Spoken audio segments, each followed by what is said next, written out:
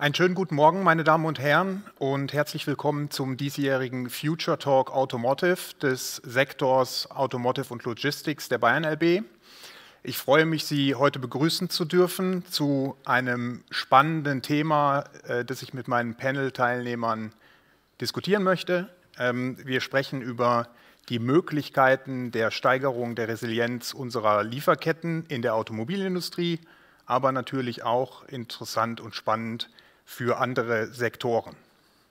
Ja, wenn man darüber nachdenkt, was die Lieferketten-Thematik und Problematik beinhaltet, ich glaube, dann denkt jeder so ein Stück weit an die Corona-Pandemie zurück. Ähm, die Corona-Pandemie war sicherlich der, der Höhepunkt ähm, der Lieferkettenproblematiken, die ähm, zu großen Verzögerungen im Gesamtsystem geführt haben, aber am Ende des Tages natürlich gut bewältigt werden konnten. Ähm, man kann sich fragen, warum sprechen wir heute noch darüber? Die größten Probleme sind doch mutmaßlich bewältigt. Dem scheint auch so zu sein. Wir werden das später in einem kurzen ähm, Wrap-up quasi vom äh, Jürgen Michels hören. Es sieht aber so aus, als wenn langfristig äh, es noch Themen gibt, um natürlich auch auf weitere Pandemien oder andere Einschnitte vorbereitet zu sein. Über die Möglichkeiten, diese Resilienz der Lieferketten zu, ähm, zu steigern, will ich heute mit meinen Gästen sprechen. Meine Gäste sind ähm, heute hier vor Ort. Ich begrüße unter anderem den Herrn Walter Bauer, CFO der Hirschvogel-Gruppe. Die Hirschvogel-Gruppe ist Entwicklungspartner und Fertigungsspezialist der Automobilindustrie. Sie verfügt über neun Produktionsgesellschaften über drei Kontinente hinweg und ist weltweit größter Hersteller in der Massivumformung von Bauteilen aus Stahl und Aluminium. Herzlich willkommen, Herr Bauer. Dann mein zweiter Gast, über den ich mich sehr freue, extra aus Shanghai angereist, Christian Sommer, CEO und ähm, Chairman unseres German Centers in Shanghai. Ähm, Christian Sommer verfügt über 25 Jahre China-Erfahrung und kann uns sicherlich sehr, sehr gute Insights und Details geben, wenn es um die Wirtschaft Chinas geht, aber auch um Diskussionen innerhalb der Gesellschaft in, in China selbst. Herzlich willkommen. Der dritte Gast, Daniel Steiner, Partner von PwC. Herr Steiner verfügt über umfassende Beratungs- und Industrieexpertise, ist Partner bei PwC und hat bereits zahlreiche Projekte im Automobil- und Zulieferersektor äh, begleitet und sicherlich auch eine sehr, sehr spannende Zeit in den vergangenen drei Jahren in der Automobilindustrie begleitet. Von daher auch herzlich willkommen. Vielen Dank. Last but not least, Dr. Jürgen Michels, unser Chefvolkswirt der Bayern LB. Die meisten von Ihnen werden ihn kennen. Ähm, er ist bekannt und geschätzt für seine sehr, sehr Prognose, seine Prognosesicherheit. Ähm, er hat äh, zuvor oder vor den Zeiten der Bayern LB bei der Citigroup in London ähm, gearbeitet und bei Saal Oppenheim in Köln. und auch ihn heiße ich herzlich willkommen. Herzlich willkommen. Bevor wir jetzt in das Panel einsteigen, Gibst du uns, Jürgen, ein kurzes Wrap-up nochmal, ein kurzes Intro zum Thema Lieferketten? Wo stehen wir aktuell? Was sind die Herausforderungen? Was waren die Herausforderungen? Und ähm, ja, ich freue mich sehr auf deinen Vortrag. Vielleicht noch einen kurzen Hinweis, während du äh, zum Panel oder zum, zum ähm, hier hinschreitest. Ähm, Sie können natürlich Fragen stellen, ähm, entweder über die Chat-Funktion gleich hier im WebEx oder alternativ gerne auch per E-Mail an marketing.bayernlb.de. Ich übergebe an Jürgen Michels. Bitte schön. Ja, vielen Dank, Dominik. Ähm, und ich freue mich sehr, heute dabei zu sein, um eine kurze Einschätzung dieser Themen zu geben. Und ich habe es überschrieben mit akute Probleme adressiert, beziehungsweise, glaube ich, in großen Teilen in den Griff bekommen aber dass die strukturellen Herausforderungen bleiben. Und ich möchte auf erstmal ein paar globale Entwicklungen eingehen. und dann am Schluss mich ein bisschen näher dann Richtung Automobilindustrie und die äh, drängenden Probleme hier ähm, mit beschäftigen. Wenn man sich hier an der rechten Grafik anschaut, äh, wie sich denn die globalen Lieferengpässe entwickelt haben, dann sieht man ja, zwei ziemlich große Phasen, wo es sehr eng war. Ähm, das erste war zu Beginn der Pandemie und dann wurde das Ganze nochmal äh, während der Erholungsphase äh, im Grunde genommen nochmal deutlich verschärft und durchaus dann äh, nach Ausbruch äh, des Krieges in der Ukraine, nach dem Angriff der Russen auf die Ukraine nochmal verschärft. Wir sehen jetzt aber, dass wir global äh, von wenigen Ausnahmen abgesehen nicht mehr davon sprechen können, dass wir irgendwelche Lieferengpässe hätten, sondern äh, der Indikator, der hier von der New York Fed rausgegeben wird, der zeigt momentan eigentlich eine Entspannung an. Das heißt, an der Stelle dürfte es nicht mehr so viele Probleme geben. Aber wir sehen gleichzeitig, und das hier sind keine absoluten Zahlen auf der linken Grafik, sondern Jahresveränderungen, dass nach der starken Erholung des Welthandels nach ähm, dem ersten, nach der ersten Phase der Pandemie der Welthandel trotzdem weiter schwächelt. Das ist nicht aufgrund von Lieferengpässen zurückzuführen, sondern das hat einen Großteil damit zu tun, äh, dass wir hier sicherlich eine schwächere globale Nachfrage haben. Und das zeigt sich zum Beispiel auch an der Entwicklung der Rohstoffpreise.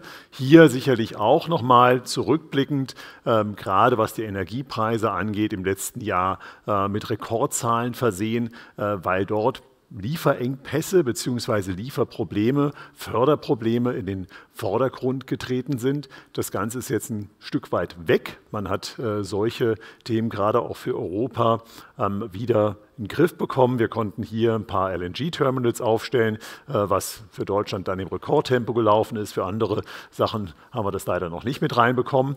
Aber hier hat sich zunächst mal eine Entspannung ergeben. Was man aber sieht bei diesen globalen ähm, Rohstoffpreisen wie auch im globalen Welthandel ist eigentlich die Tatsache, dass wir aufgrund der Verschärfung äh, auch der geldpolitischen Maßnahmen eine ja, Abkühlung der Weltwirtschaft momentan sehen. Hier vielleicht nochmal ganz gut ähm, zu sehen anhand der Entwicklung, die wir ähm, bei den Einkaufsmanager-Indizes haben. Das ist somit das zeitnahste und beste Barometer, äh, wie sich denn die globale Wirtschaft entwickeln. Da sieht man Anfang des Jahres äh, sah es erstmal ganz gut aus, ähm, auch mit der Öffnung Chinas nach ähm, dem Wegfall der Corona-Restriktionen. Und jetzt sieht man im größeren Maße, dass der Anstieg der Zinsen weltweit dann auch zu einer nachlassenden Nachfrage führt und letztendlich dann auch zu einer geringeren Wirtschaftstätigkeit.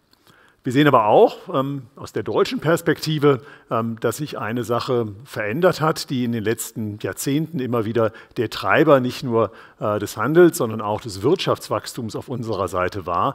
Das ist nämlich der Handel äh, mit China. Der war, wie gerade schon gesagt, über viele Jahre ähm, eine Quelle für das Wirtschaftswachstum in Deutschland. Der hat stark ähm, auch hier zum Nettowachstum beigetragen. Und das war während der Phase, wo äh, China sich im Prinzip äh, in den Welthandel integriert hat. Der Anteil der deutschen Exporte äh, ist deutlich gestiegen von einem halben Prozent noch im Jahr 2000 ähm, auf ja, zweieinhalb Prozent dann vor der ähm, großen globalen Finanzkrise. Seitdem sind wir aber nur noch in ganz kleinem Maße nach oben gegangen und aktuell äh, sehen wir hier schon eine gewisse Verlangsamung, die eingetreten ist. Es wird noch kompensiert durch stärkeren Handel äh, auf Seiten der USA. Ähm, aber hier kommt man noch bevor diese großen strukturellen Themen reinkommen, die ich jetzt kurz äh, adressieren möchte, ähm, schon mal rein, dass wir einfach in China aufgrund der Lockdowns auch im vergangenen Jahr, und das sind Zahlen bis 22 hier mit drin, ähm, durchaus eine Verlangsamung gesehen haben. Das heißt also, wir haben hier in Teilen konjunkturelle Entwicklungen gehabt. Wir hatten die Einflüsse durch die Pandemie und andere Schocks, die scheinen jetzt größtenteils behoben zu sein. Und jetzt ist die Frage nach vorne, welche strukturellen Veränderungen sehen wir denn gesamtwirtschaftlich? Ähm, da gibt es Faktoren demografischer Wandel, Digitalisierung, Dekarbonisierung, aber auch die Deglobalisierung, die aus unserer Sicht in großen Teilen ähm, auch die gesamtwirtschaftliche Entwicklung prägen werden. Und das wird natürlich auch Auswirkungen haben auf Lieferketten. Hier wird natürlich insbesondere das Thema der Deglobalisierung bzw. anderer politischer Lagerbildung äh, eine Rolle spielen, die de facto, glaube ich, bis jetzt noch wenig in den Zahlen zu sehen ist, aber da vorne hin sicherlich im viel stärkeren Maße eine Rolle spielen wird. Auch auf der Seite der Dekarbonisierung haben wir immer mehr ähm, Veränderungen drin. Es wird in Europa eine äh, Carbon Border Adjustment Tax äh, diskutiert. Ähm, es wird viele andere Themen geben, was auch den internationalen Transport, die Logistik äh, beeinflussen wird. Ähm, hier also größere Veränderungen für die globalen Warenketten und sicherlich auch auf dem Thema der Digitalisierung bekommen wir andere Möglichkeiten, auch das Sourcing durchzuführen und dementsprechend wird es hier größere Veränderungen geben. Demografischer Wandel spielt auch eine Rolle. Das Thema äh, Facharbeiterknappheit, das Thema Arbeitskräfteknappheit äh, wird in zunehmendem Maße Maße auch für die Erstellung von Produktionsstandorten eine Rolle spielen und dementsprechend auch die Frage sein, wo kann wer was äh, produzieren. Und dementsprechend, glaube ich, sind diese vier Ds nicht nur für die gesamtwirtschaftliche Entwicklung äh, von großer Relevanz in den kommenden Jahren, äh, sondern sicherlich auch über die Entwicklung von Lieferketten. Wenn man sich jetzt anschaut, wie planen denn europäische Unternehmen äh, ihre Aktivitäten? Und da kam gerade diese Woche eine Umfrage der EZB unter großen europäischen Unternehmen raus. Es ist jetzt keine Riesengruppe von Unternehmen, die dort geantwortet haben. Von dem großen Survey äh, haben leider nur 65 wohl äh, laut Angaben der EZB an diesem Survey teilgenommen. Aber es ist trotzdem ganz spannend zu sehen, wo denn die Unternehmen ihre Standorte planen oder halt nicht planen. Ähm, und in den letzten fünf Jahren hatten wir einen großen Teil ähm, der Standorte, die tendenziell, also ist immer die Frage, habe ich einen Schwerpunkt, habe ich keinen Schwerpunkt, tendenziell ähm, außerhalb der EU geplant wurden. Dieser große äh, ja, eher mittelblaue Bereich, äh, weder innen noch außerhalb der EU, heißt halt, ich habe hier eine Verteilung auf verschiedene Gebiete mit reingebracht. Dort ähm, war das in der Vergangenheit der dominierende Teil. Wenn man sich jetzt die Gesamtentwicklung äh, anschaut von allen Unternehmen, da sehen wir schon eine größere Tendenz, äh, dass wir auch wieder innerhalb der EU Standorte ansiedeln wollen. Das heißt, hier gibt es eine gewisse Verschiebung. Und wenn man sich die Absolutzahlen anschauen äh, bei den Themen äh, Diversifizierung, Friendshoring, Nearshoring, äh, dann hat das in den letzten fünf Jahren noch einen relativ kleinen Anteil gespielt. Jetzt nach vorne hin planen aber viel mehr Unternehmen in diesen Gründen oder mit diesen Gründen ihre Investitionen zu tätigen. Und da kommen durchaus eine Reihe von ja, strategischen Überlegungen mit rein. Was spricht dafür, in der EU zu äh, investieren? Was spricht dagegen? Und äh, ein großer Grund, äh, warum zunehmend in der EU investiert werden wird, das ist dieser dunkelblaue Balken, was spricht für die EU, ist das Thema geopolitische Risiken, Unsicherheiten. Ich glaube, viele Unternehmen haben nicht nur ihre Kostenüberlegungen bei der Entscheidung, welchen Standort möchte ich einnehmen, sondern ich bekomme zusätzlich nochmal einen Risikoparameter, äh, den ich politische Unsicherheit nennen könnte. Und an dem Parameter muss man einfach sagen, wenn ich in der EU bin, ähm, gibt sicherlich Abstriche, aber dort habe ich diesen Parameter mit einer viel kleineren äh, Größe zu versehen, als es dann in anderen Teilen der Welt äh, der Fall ist. Und dementsprechend ist das sicherlich ein Faktor, der für Europa spricht. Äh, und das andere, was durchaus auch ein Faktor für Investitionen in Europa im Vergleich zu anderen Regionen spricht, äh, ist das Thema Klimawandel. Da ist sicherlich außerhalb der EU äh, das Thema mit dem IRA in den USA als Gegengewicht zu sehen. Beziehungsweise das sieht man auch bei dem Thema Energiekosten, wo Europa ganz klar im Nachteil ist. Und auch in Bezug auf ein Thema, was in der Vergangenheit sehr wichtig war für die Diversifizierung auch von Standorten, das war die geografische Verteilung des Umsatzes. Umsatzes, dass man einfach in bestimmte Märkte reingehen möchte. Das spricht nicht für Europa, ist weiterhin ein Grund ähm, für Investitionen ähm, auch im Ausland. Und das ist auch bei dem Thema Arbeit der Fall. Äh, wir können nicht im ungestrengten Maßen hier die äh, Produktion oder Standorte nach Europa bringen, weil das Thema demografischer Wandel hier einfach eine größere Rolle spielen wird.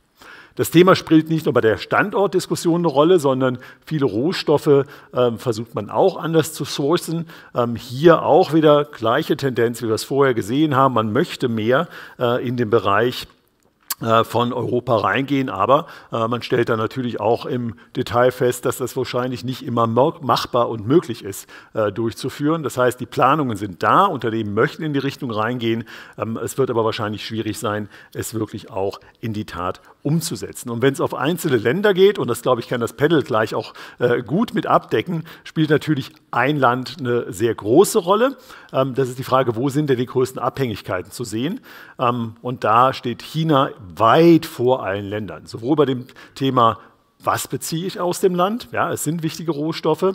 Ähm, und ähm, gleichzeitig sieht man, äh, dass man dort auch ein relativ hohes Risiko damit in Zusammenhang bringt ähm, und das auch dann wirklich äh, die Branche äh, in größere Bedrängnis bringen könnte. Also dort ist China ganz weit vor allen anderen Ländern zu sehen, was hier zum Thema werden könnte. Und gleichzeitig sehen die meisten Unternehmen, dass es nicht so einfach sein wird, ihre Produktions- äh, Komponenten anders aufzuteilen. Ja, es ist keiner, der sagt, es ist leicht, äh, eine Substitution äh, von diesen Maßnahmen vorzunehmen. Und ein sehr großer Teil, fast über 60 Prozent, sagen, es ist sehr schwer, das Ganze zu tun. Und das spiegelt sich dann auch wieder bei der Umsetzung der Frage, wie kann ich mein Länderrisiko diversifizieren. Dann sind wir im Bereich von ja, 25, 30 Prozent dabei von Unternehmen, die sagen, nee, das haben wir bis jetzt noch nicht gemacht oder wir planen es auch gar nicht.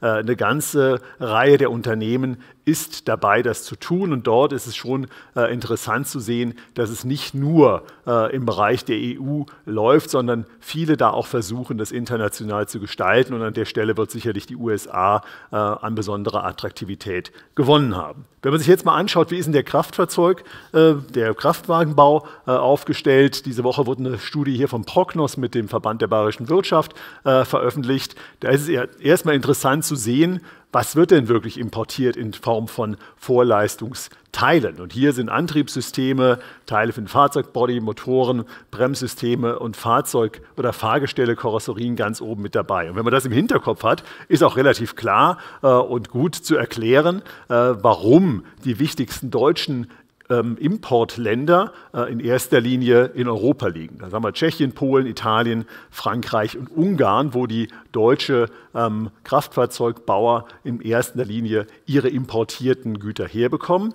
Gleichzeitig sieht man aber, dass in dem ganzen Bereich ähm, weltweit China hier die große Rolle spielt, gefolgt von den USA. Und das ist natürlich das Thema, was wir vorher auch gesehen haben. Prognos hat hier eine Einschätzung gegeben, wie ist denn der Zugang äh, in diese Länder und wie stark bestehen dann auch Risiken, hier reinzukommen. Wenn man das sieht, muss man sagen, warum haben wir denn eigentlich die großen Probleme gehabt ähm, in der Vergangenheit, äh, was das Thema Lieferketten angeht. Hier haben wir so kleine Komponenten wie Chips natürlich nicht mit drin. Das ist relativ wenig, wenn man sich das Auto bei den äh, Gesamtteilen anschaut. Vielleicht eine bessere Indikation dazu zu bekommen, hier auch wieder nach Branchen aufgeteilt ist, wenn man sich die V-Geräte, Elektronik, Optik anschaut, wo dieser Anteil einfach größer der Fall ist.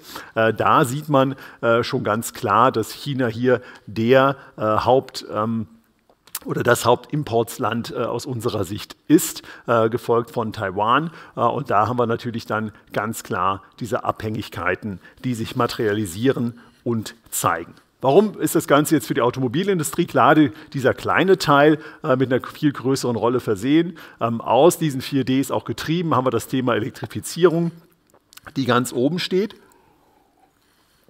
Und dementsprechend werden diese Komponenten auch in Zukunft eine viel größere Rolle spielen, als das momentan noch in den Zahlen zu sehen ist. Ähm, neben dieser Elektrifizierung des Antriebs äh, kommt das Thema Digitalisierung, ähm, sowohl innerhalb des Cockpits als auch autonomes Fahren mit rein. Also hier wird sich sicherlich die gesamte Lieferkettenchromatik äh, sehr, sehr stark äh, verändern und äh, vielleicht zum gewissen Punkt äh, wir nach vorne hin vielleicht nicht mehr so sehr auf äh, PS, äh, sondern mehr auf Bytes schauen werden, wie die Autos positioniert sind. Wir haben da am 27. Oktober einen Kollege von mir, der ähm, Wolfgang Linde auch eine Studie zu dem Thema rausgegeben. Hier sehen wir aber, Wertschöpfungsketten verändern sich. Das wird wahrscheinlich auch dazu führen, äh, dass wir die Lieferketten auch in der Automobilindustrie nach vorne deutlich verändern werden. Das Gleiche zeigt sich dann auch ähm, bei ähm, hier eine Studie von McKinsey bei der Frage, wie viel Halbleiter werde ich denn äh, in der Zukunft brauchen. Hier wird sich sicherlich eine ganz andere Dynamik entwickeln. Wir versuchen jetzt auf der europäischen Seite mit der Bereitstellung von entsprechenden Fabriken, das hier auch selber äh, auf die Reihe zu kriegen. Aber das wird das Problem wahrscheinlich nur in ganz kleinen Teilen lösen können, weil ein Großteil der Komponenten, der Rohstoffe dafür weiterhin halt auch aus dem Ausland kommen und hier auch in erster Linie wieder von China kommen werden. Das heißt, all das, auch wenn wir hier äh, ein Stück weit versuchen, eine Unabhängigkeit herzustellen, wird zunächst nicht laufen und dementsprechend äh, werden wir an der Stelle nicht autark werden können. Wir werden in der Zukunft uns auch auf globale äh, Wege versteifen müssen, Vertrauen haben müssen. Gleichzeitig müssen wir uns aber auch bewusst sein, dass diese globalen Wege immer holpriger werden und gerade die aktuellen Krisen zeigen, wie anfällig das ist. Und im Hinblick auf die US-Präsidentschaftswahlen, ähm, aber auch bei den anderen Konflikten muss man sich im Klaren sein, dass wir hier auch in den kommenden Jahren keine Ruhe bekommen werden. Was die Absatzmärkte vielleicht nochmal angeht, auch hier zu sehen wird auch in der Zukunft äh, wahrscheinlich kein Weg dran vorbeiführen, dass die größten Märkte in China liegen werden. Äh, und dementsprechend, wenn ich diese Märkte auch bedienen möchte, äh, muss ich mir überlegen, wo ich produziere, wo ich meine äh, Vorprodukte herbekomme. Das heißt, an der Stelle wird die Automobilindustrie bzw. die Musik weiter auch dort spielen. Europa selber ähm, hat hier nochmal gut zu sehen nach der Recovery von der Corona-Pause nach vorne hin sicherlich nur gewisse äh, Möglichkeiten. Und äh, zu glauben, dass wir hier ohne einen starken chinesischen Markt äh, nach vorne uns bewegen werden, die sind, glaube ich, illusorisch. Es wird sicherlich Veränderungen geben Richtung Indien, Richtung andere Märkte, wo man vielleicht dann auch vor Ort produzieren kann. Aber dass man solche Ketten schnell umstellen kann, ist aus meiner Sicht sehr unwahrscheinlich. Ich würde es da mal an der Stelle belassen und freue mich auf die Diskussion jetzt. Ja, danke schön für die Einführung, Jürgen. Ähm, starten wir vielleicht gleich rein ins Panel. Herr Bauer, nochmal herzlich willkommen. Schön, dass Sie da sind. Ähm, vielleicht kurze Frage oder kurze Frage zum Einstieg. Wie war Hirschvogel ähm, von der Corona-Pandemie, von den Lieferkettenengpässen betroffen? Sicherlich eine sehr spannende Zeit für Ihr Unternehmen, für Sie persönlich auch, für Ihre Kollegen. Vielleicht können Sie uns kurz abholen. Ja, Herr Höfing, wir waren in der Tat äh, massiv betroffen. Wir haben natürlich versucht, unseren Lieferverpflichtungen nachzukommen, was äh, mit unserer Local-for-Local-Strategie, die wir aufgrund unserer schweren Teile haben müssen, uns gut gelungen ist. Aber wir waren natürlich äh, durch die Halbleiterverknappung ähm, stark getroffen und auch dann als der Ukraine-Krieg. Also das war für uns eigentlich keine keine Erholung nach Corona, ähm, fehlten ja auch äh, Kabelbäume, sodass wir als Zulieferer auf hohen Beständen saßen und äh, dann aber mit Vollgas und äh, Vollbremsung sozusagen durch diese Zeit äh, kommen mussten. Ähm, das war nicht leicht und da gilt noch der, der Dank an, meine, an unsere Mannschaft. Ja, also wir haben sehr viel Nachteile dadurch erlitten. Hohe Kapitalbindung, hohe Zwischenfinanzierung, ja, so würde ich es zusammenfassen. Würden Sie beschreiben, dass der, die großen, größten Einschnitte in Ihrer eigenen Wertschöpfungskette gelegen haben? Oder lief es eher darauf hinaus, dass Sie auch sehr, sehr stark auf Ihre Zulieferer schauen mussten, um dort ähm, ja, die Lieferkette ein Stück weit im Griff zu haben? Mhm. Also wir hatten mit unseren Zulieferern, die im Wesentlichen äh, Stahl und Aluminium zur Verfügung stellen, eigentlich äh, wenig Probleme. Die haben äh, sich extrem flexibel gezeigt, waren auch äh, gut vorbereitet auf die Situation, muss man im Nachhinein sagen. Also wir waren eher mit unserer Wertschöpfungssituation über die, über die drei Kontinente ordentlich beschäftigt und sind dann am Ende mit höheren Lagerbeständen sozusagen in eine Flexibilisierung für, die, für den Rest, für den Kunden sozusagen ja. gegangen. Ja. Wenn Sie das Thema Lieferketten ähm, so aus heutiger Sicht betrachten, würden Sie der Einschätzung folgen, dass sich da auch in der Zusammenarbeit, in der Kooperation zwischen Herstellern, Zulieferern, dass sich da was getan hat? Hat sich da bereits was geändert, auch wenn man daran denkt, ähm, Jürgen Michels hat es schon reingebracht, ähm, De-Risking, Decoupling, Nearshoring, ist es spürbar? Also es hat auf jeden Fall ein gewisser Trend äh, begonnen. Wir haben, ich würde es mal so sagen, das eine oder andere strategische Zusammenarbeitsgespräch inzwischen erfahren. Das war ja vor Corona weniger der Fall. Ähm, wir haben natürlich ein, ein oberstes Prinzip immer noch, das wir täglich erfahren. Der Preis gilt immer noch als wichtigstes Entscheidungskriterium und weniger die, die stabile Lieferkette, so würde ich es jetzt mal salopp formulieren. Allerdings wird man äh, in der Tat jetzt ähm, als, als Lieferant partnerschaftlicher gesehen. Also man will auch die Meinung von uns hören und äh, da freuen wir uns drauf, dass wir sowohl mit OEMs wie mit Tier Ones ähm, inzwischen in gute Gespräche eingetaucht sind.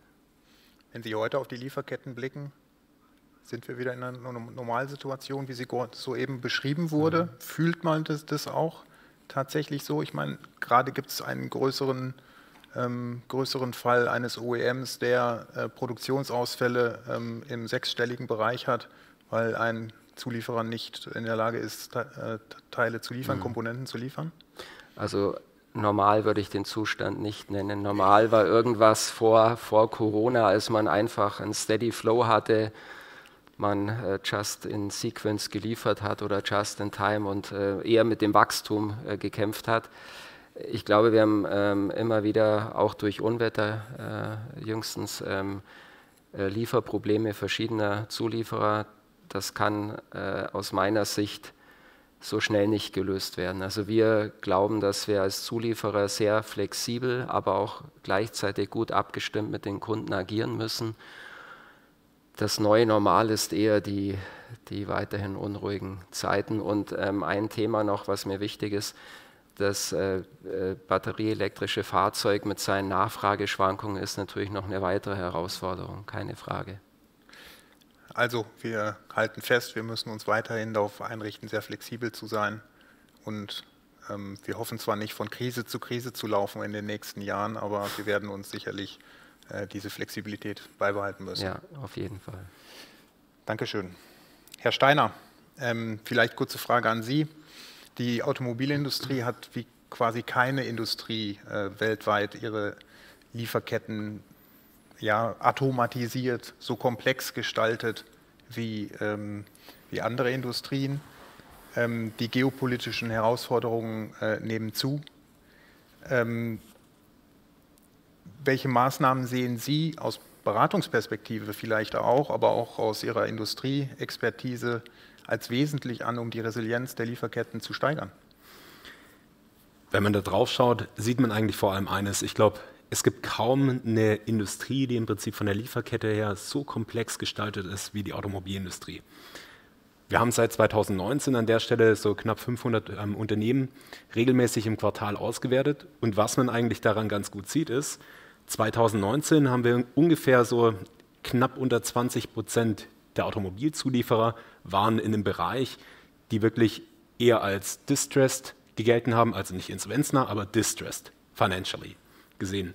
Wenn man im Prinzip jetzt die Corona-Krise anschaut, Sie hatten es ja gerade auch gesagt, ja, das war im Prinzip quasi Vollbremsung und wieder anfahren. Das hat aber an der Stelle deutlich besser in der Lieferkette funktioniert, wie nämlich der September 2021. Das ist im Prinzip so an der Stelle, als Semiconductor Crisis mit aufkam und die Lieferkette wirklich durchgeschüttelt hat. Da hat man im Prinzip in dieser Statistik hat man gesehen, dass wir knapp über 50 Prozent der Zulieferer in den Status gekommen sind, wo letztendlich nicht nur das Thema ähm, Profitabilität, sondern vor allem auch das Thema ähm, Cash gebunden mit Working Capital eines der grundlegenden Themen mit waren. Deswegen, also ich glaube, was man schon sagen kann, ist, die Lieferkette ist komplex und genau deswegen hängt das eigentlich an der Stelle auch, die Maßnahmen hängen sehr, sehr stark damit zusammen, wie kriegen wir eigentlich diese Komplexität gemanagt in dieser Lieferkette. Und für mich sind es da eigentlich im Wesentlichen drei Maßnahmen. Also das erste ist ganz klar das Thema Transparenz. Was wir festgestellt haben und was wirklich erstaunlich war, war, oft war im Prinzip quasi auf OEM-Seite, auf Tier-One-Seite, war im Prinzip quasi nicht ganz klar, wie im Prinzip die Lieferketten exakt mit welcher Kapazität wo zusammenhängen.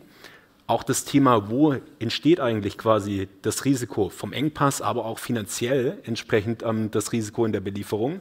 Auch daraus haben wir, glaube ich, ganz, ganz viel gelernt. Deswegen, das ist etwas, was letztendlich Risikomanagement und Transparenz eines der wesentlichen Punkte sind als Maßnahmen. Das Zweite ist, und ich glaube, auch in Ihre Richtung geschaut, ich glaube, das haben Sie ja auch hervorragend hinbekommen, auch wenn an der Stelle das eine Herausforderung ist, ist das Thema Flexibilisierung, nämlich das Thema Flexibilisierung von Kosten, wo die Zulieferer 60 bis 80 Prozent ungefähr tatsächlich ihre Kosten kurzzeitig flexibilisieren konnten. Aber letztendlich auch, wenn wir heute ja im Prinzip reinschauen, bei den OEMs sehen wir im Prinzip genauso das Thema dort Maßnahmen der Flexibilisierung. Beispielsweise habe ich in einem Werk nur ein Modell, wo ich im Prinzip auf dieser Linie laufen lasse oder wie im Prinzip andere OEMs an der Stelle heute auch in den Quartalszahlen ja im Prinzip am Berichten, letztendlich über die Flexibilisierung mehr in der Produktion tatsächlich auch dort erfolgreich zu sein. Maßnahme Nummer zwei, das Thema Flexibilisierung. Und das dritte ist im Prinzip ganz klar das Thema Komplexitätsreduzierung. Und dann kommen wir im Prinzip genau zu dem Punkt, den Sie vorher angesprochen haben, nämlich das Thema, wir schauen im Prinzip uns die Lieferketten global an, stellen im Prinzip quasi fest, naja, wenn im Prinzip Teile ein paar Monate auf dem Weg von Asien hierher sind, dann muss man sich ziemlich genau die Frage stellen an der Stelle auch, wie viel Flexibilität habe ich eigentlich in dieser Supply Chain denn überhaupt noch drin?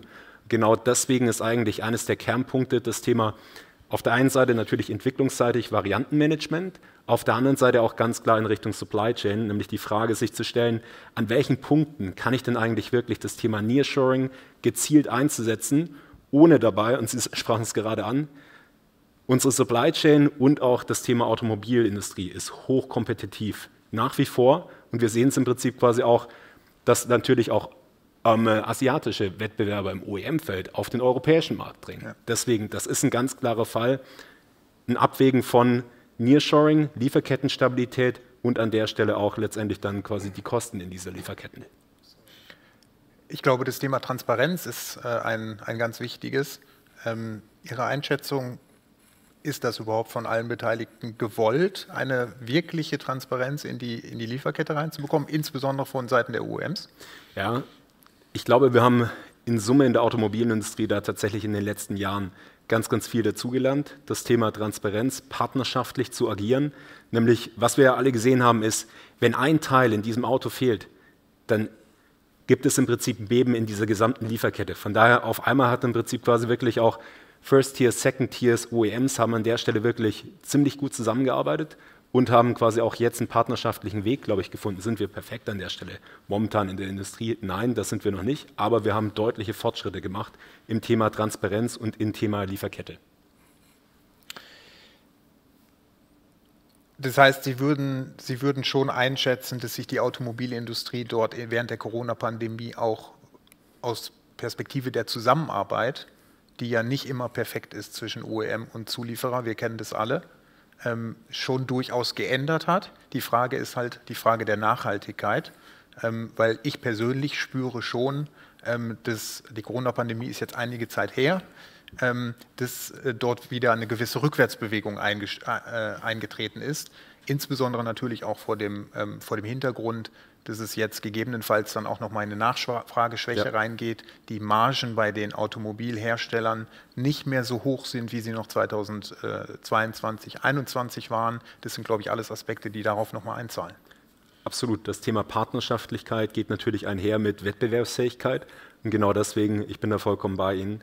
Das ist ein Punkt, unsere Industrie ist so aufgestellt, unsere Industrie ist quasi hochkompetitiv und an der Stelle aber auch das Thema Transparenz ist wichtig. Wir haben, glaube ich, viel dazugelernt, aber letztendlich jetzt an der Stelle auch, wir sehen es jetzt in jüngster Zeit, ähm, haben tatsächlich auch wieder Call-off-Schwankungen deutlich zugenommen. Das heißt, die Abrufe an der Stelle, wo sich ein Zulieferer darauf einstellt aktuell, wo er seine Produktion plant, haben wir im Prinzip deutliche Schwankungen in der Lieferkette mit drin und das wirkt sich am Ende ganz klar auf die Financials und auf den Cash, die Liquidität, die momentan in dieser Industrie verfügbar ist, aus. Von daher ja, das hat auch seine Grenzen.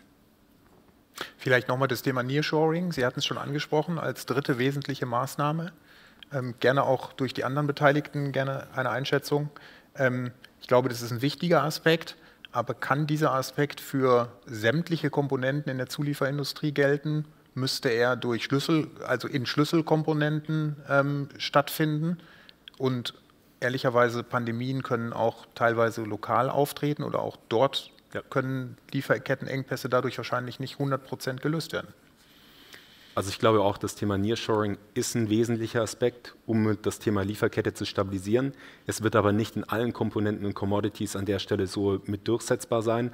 Warum? Weil wir im Prinzip das Thema Rohstoff Weiterverarbeitung ist im Prinzip schon mal der erste Punkt, wo man an der Stelle tatsächlich die Einschränkung sieht, unsere Supply Chain ist global und sie wird auch nach wie vor in vielen Komponenten sehr global sein. Und es ist sicherlich am Ende des Tages auch ein Kostenfaktor, ja. Dual Source zu betreiben ähm, und mehrgleisig zu fahren. Das ist so. Also das ist ja nicht nur die Frage Doppelung von Werkzeugen etc., sondern auch, wie viel Kapazität halte ich dann an der Stelle vor, um letztendlich dann, wenn ich selbst eine Dual Source habe, ist ja im Prinzip quasi die Frage, habe ich im Prinzip die, ähm, die Kapazität, um quasi so flexibel zu reagieren und genau das ist an der Stelle einfach mit hohen Investitionen verbunden. Von daher auch das hat seine Grenzen. Und Sie, Herr Bauer, würden sich in einer Single-Source-Position immer wohler fühlen? Absolut, ja. Äh, wir haben mit dem, so wie es Herr Steiner gesagt hat, mit dem Thema Dual Source ähm, immer einen hohen Fixkostenblock im Zweifel, ja. der uns stark belastet. Und wenn dann neben der fehlenden Auslastung auch noch zusätzlich Volatilität hinzukommt, mhm. dann äh, tun sich, äh, glaube ich, alle Zulieferer mit der Situation sehr schwer. Also äh, es wäre äh, unser Wunsch natürlich, möglichst transparent zu wissen, ob man Single oder Second Source ist. Man kriegt es ja öfter auch äh, dann selber raus oder gesagt, ja, in China vielleicht gesagt. Ähm, aber da wäre wär es für uns sehr, sehr wichtig, dass wir dann über, über ja, finanzielle Lösungen sprechen können mit den OEMs und Tier 1. Also dieses Vorhalten und die Volatilität sind einfach nicht komplett abatmenbar. Ja. Das geht nicht. Ja.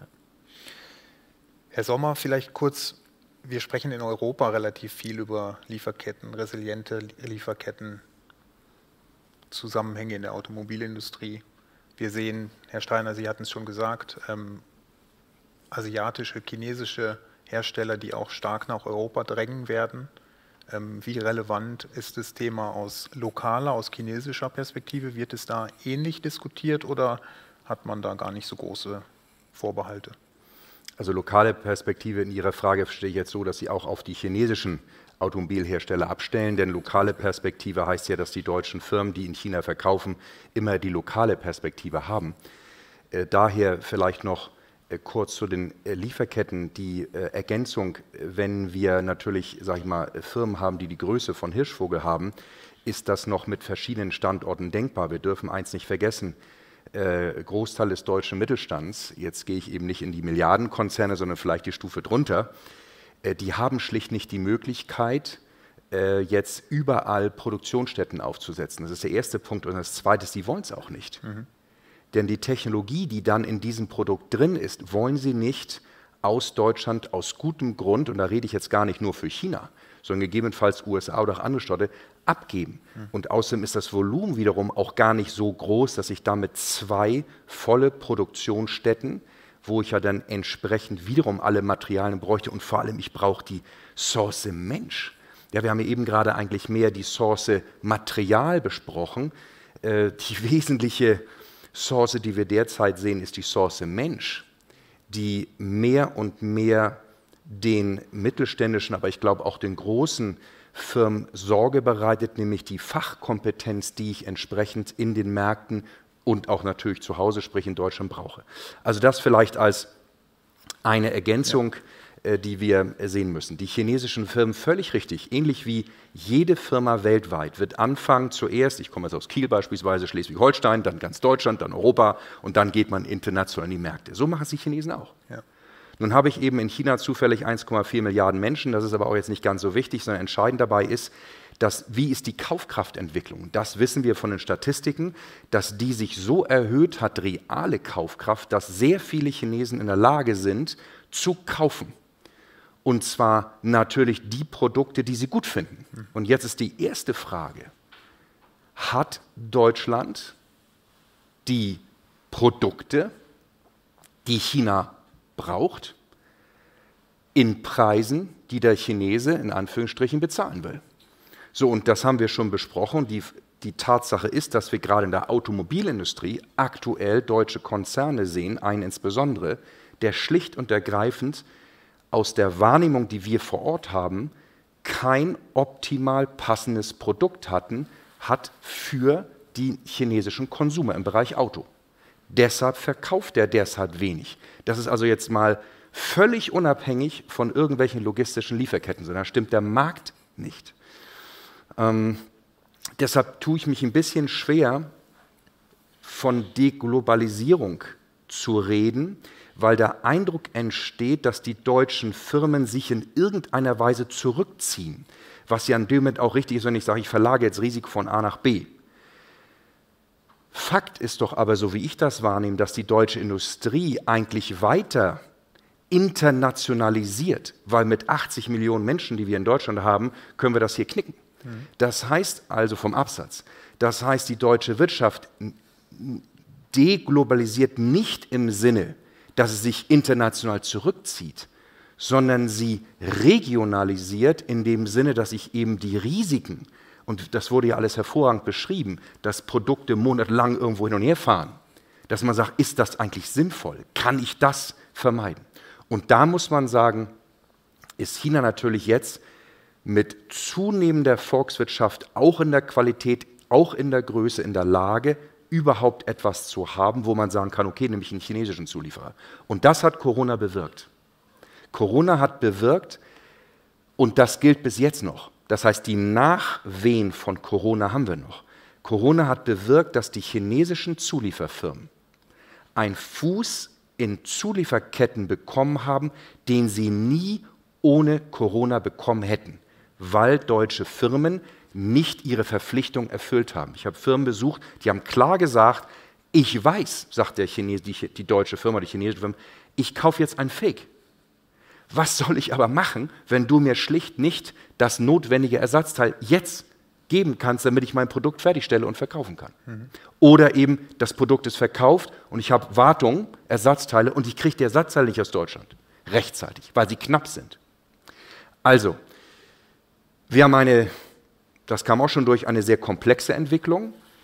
Lieferketten spielen eine große Rolle, der Markt logischerweise auch. Die deutschen Firmen kommen unter Druck durch die Entwicklung der Autoindustrie Elektromobilität. Das ist etwas, was alle Firmen, und damit meine ich die OEMs, wie aber auch alle Zulieferer massiv beschäftigt, denn wenn Sie heute in die Großstädte Chinas fahren, werden Sie Marken sehen, die Sie hier noch nie gesehen haben und die Autos sind das muss man fair sagen, gut und die werden irgendwann den Weg nach Europa finden. Ja. Jetzt hatten Sie schon den, den, den Sprung in die, die, Unterschiede, die Feinheiten zwischen De-Risking, Decoupling gemacht. Ähm, war eigentlich erst später äh, geplant, aber Sorry. nehme ich gerne auf. Ähm, wir haben gesehen, ich glaube auch gerade in der Präsentation, die wir vorab ähm, äh, gesehen haben, erkannt ist das Thema, China kann in der Lieferkette ein oder stellt ein Risiko dar. Sie hatten schon gesagt, kleinere Mittelständler sind teilweise gar nicht in der Lage, aufgrund der Aufstellung, aufgrund der Größenordnung und der Kostenstruktur ähm, diese Themen zu umgehen oder anders zu gestalten. Ähm, wenn man jetzt nochmal die chinesische Perspektive nach Europa äh, einnimmt, würden die Chinesen es denn anders machen? Also würden sie nicht in dieser Situation auch De-Risking betreiben, wenn Sie jetzt äh, den ja. Schritt nach Europa gegangen sind, so wie wir es jetzt überlegen? Ich, ich bedanke mich für die Frage, weil wenn Sie, das ist, es geht leider ein bisschen in die Politik, gucken Sie, es wird ja gerade überlegt. Ich glaube, das ist nicht zu verhindern. Nee, nee, wird nicht zu verhindern. ist nicht zu verhindern, deshalb, äh, äh, gerade wenn man mit China spricht, nicht. Äh, gucken Sie, was wir doch gerade überlegen, wenn ich die Presse richtig verstehe, ist, dass Europa überlegt, äh, Sanktionen für chinesische Elektroautos, die nach Europa importiert werden, zu verhängen, eben mit der Maske, wenn man sagt, die sind so gesponsert vom Staat, ich drücke es mal so aus, dass man das machen muss, damit wir wieder irgendwo ein vernünftiges Preislevel haben. Also, ähm, was will man damit erreichen? Es wäre doch cleverer zu sagen, weil eine Gegenreaktion wird klar kommen wollen wir das also wirklich unserer deutschen Automobilindustrie, der größte Markt der Welt, in China antun? Oder werden wir cleverer und sagen, ja, natürlich könnt ihr auch gerne jeden Tag eine Million chinesische Elektroautos nach Deutschland importieren, nach Europa, uns völlig gleich. Aber eins müsst ihr machen. Ihr müsst die Wertschöpfungskette zum Teil nach Deutschland oder nach Europa verlagern. Mhm. Sprich, das, was Sie gerade ansprechen. Das tun wir aber nicht. Sondern wir sagen umgekehrt, ihr kriegt erstmal Sanktionen. Wenn ich jemanden sanktioniere, will ich damit den positiven Schritt erreichen, dass er jetzt deshalb in Europa produziert, weil ich ihn vorher gedisst habe? Verstehen Sie, das ist einfach, dass ich nicht verstehe an der Richtung. Wir könnten das ganz elegant, im Grunde, wenn man ehrlich ist, so wie es die Chinesen am Anfang gemacht haben. Ihr dürft nur ein Joint Venture machen. So. Und wenn, dann habt ihr entweder Handel oder bitte produziert vor Ort, alles gut. Also ich glaube, wir brauchen tatsächlich das, was Sie sagen. Dann werden die Chinesen das machen, weil die genauso kostenbewusst sind wie die deutsche Industrie, weil sie einfach auch in dem Preiskampf natürlich stehen. Und sie haben dann das Umfeld, Arbeitskräfte, Sozial, Mindestlöhne, alles das, was dazugehört, haben sie in Standortkosten Deutschland, haben sie ja auch. Also warum sollen die nun plötzlich in Deutschland 20, 30 Prozent günstiger produzieren können? Also daher Zugang zu Märkten, ja, nicht sanktionieren, jetzt in diesem Fall bei Kriege ist was anderes, und dann zu sagen, herrlich, aber produziert Wertschöpfungskette bitte nach Deutschland, alles ist gut. Und dann wird man sehen, was passiert. Da spielt auch so ein Stück weit schon das Thema politische Stabilität mit rein, also auch die Frage, inwieweit kann ich mich auf China auch verlassen, in Anführungsstrichen. Ähm, das ist ja ein großer Faktor. Wie schätzen Sie den ein? Ja, das ist natürlich schwierig, weil immer die Gefahr besteht. Wissen, wenn, ich bin jetzt fast 30 Jahre vor Ort. Wenn ich sage, China ist politisch stabil, dann wird man natürlich sagen, ist klar, der Sommer muss das sagen. Ja, ist, ist so lange vor Ort, hat schon ein bisschen vielleicht nicht mehr den ganz neutralen Blick. Äh, also meine Wahrnehmung aktuell ist, China ist politisch stabil, aber richtig ist. Wir haben eine Situation, wo erstmals, ich kann mich an nichts anderes erinnern, dass der Präsident zwei seiner äh, Kollegen, nenne ich es jetzt mal, Minister, äh, vorzeitig entlassen hat in einer Weise, wie es in China dann üblich ist, nicht schön, aber äh, üblich ist, das ist normalerweise nicht der Fall. Also muss man davon ausgehen, dass dort enorme Spannungen bestehen und dass die Lage zwar stabil, aber spannungsgeladen ist. Ich tue mich nur schwer, dies in einem Verhältnis zu sehen, wenn ich Europa und Amerika sehe und sage, wo sind wir denn hier stabiler? Also ich hätte Mühe, derzeit Europa als stabil zu bezeichnen. Und ich hätte auch große Mühe, Amerika an der politischen Situation mit den Wahlen, die kommen, aktuell perspektivisch, wir reden ja nicht über zehn Jahre, wir reden über zwei Jahre, als stabil zu bezeichnen. Und wenn ich dann noch die Schuldensituation Amerikas noch sehe und die Verschuldung in Europa. Also daher ist das wirklich eine hochpolitische Frage, äh, die natürlich mit vielen Fragen, Taiwan, alles, was damit zusammenhängt, ähm, alles reinspielt und insofern würde ich zwei Unterscheidungen machen und damit abschließen. Wenn es um Zulieferung geht, dann glaube ich, muss jedes Unternehmen auch in der Lage sein, im Aufsichtsrat zu sagen, die Investition, wollen wir noch mehr Zulieferung nach China verlagern, vielleicht tun wir das nicht und haben das Gefühl, wir können woanders das diversifizieren mit den gewissen Kostennachteilen. Wenn es um Markt geht, wenn der Vorstand, der vor Ort agiert, den Aufsichtsrat fragt, können wir investieren in den Markt, Produktvielfalt, zusätzliche Produktion, Personal, bla bla bla. Und da sagt der Aufsichtsrat Nein. In der Prämisse, lass uns mal auf zwei Jahre halten spielen, weil äh, das wissen wir jetzt nicht genau, wie China stabil ist. Da verspreche ich Ihnen, wird diese Firma den Markt verlieren. Und zwar schneller, als sie gucken kann. Und deshalb müssen wir in diesen beiden Sachen sehr unterscheiden. Deshalb ist es sehr gut, dass wir heute hier eher über die Zulieferseite reden, mhm. weil das wirklich ein Unterschied ist, wie man nach auf China guckt ist ja weniger die Frage, ist China auf der politischen Seite stabil, sondern wie sehen das die anderen? Also China kann ja ganz stabil weiterlaufen, aber äh, Third-Party-Sanctions und so weiter, das sind ja keine Themen, die irgendwie außerhalb der Welt wären, sondern Absolut. das sind ja ganz reale Sachen. Und ich ja. glaube, da ist eher die Frage, wie entwickeln sich sonstige Bedingungen, wo wir einfach gezwungen werden, äh, in bestimmten Sachen bestimmte Geschäfte nicht mehr zu machen. Ja, also alle, wenn ich eine Zentralbank vorher war und habe gesagt, äh, aus der russischen Sicht, äh, Anlage in US-Dollar war eine super Sache, ähm, stelle aber dann fest, äh, ich kann es nicht nutzen, wenn es dann mal schwierig wird, dann, dann habe ich ein Problem. Und ich glaube, das ist was, äh, was man dort bei der ganzen Bewertung der Situation durchaus reinnehmen muss. Ich ja. kann nicht mehr von einem Land sagen, das ist stabil und das passt, sondern ich muss überlegen, wie kommen die ganzen anderen Parameter mit zusammen. Absolut richtig. Also würde ich voll unterstreichen. Und das ist ja auch rausgekommen, soweit wir haben eine völlig veränderte Risikolage. Wir müssen als Unternehmen mit Flexibilität und mit den Maßnahmen, die Sie schon gesagt haben, wahrscheinlich wirklich für die nächsten Jahre agieren. Also Normalität, wie sie vorher war, ist in weiter Ferne. Kommen wir vielleicht nochmal auf die wirtschaftlichen oder gesamtwirtschaftlichen Auswirkungen, sowohl in Europa, USA als auch äh, in, in, in Asien. Ähm, Jürgen Michels, ähm, man hat ja jahrzehntelang versucht, quasi durch die, durch die extreme Globalisierung ähm, in der Automobilindustrie dann auch Kostenvorteile zu erzielen. Ähm, Nearshoring kann eine Lösung sein, haben wir gesagt, in Teilbereichen. Ist es möglich, dass Deutschland oder Europa davon profitiert am Ende des Tages auch wirtschaftlich? Also wir werden sicherlich, was die Produktionsstandorte angeht, ein paar Sachen zurückbringen können.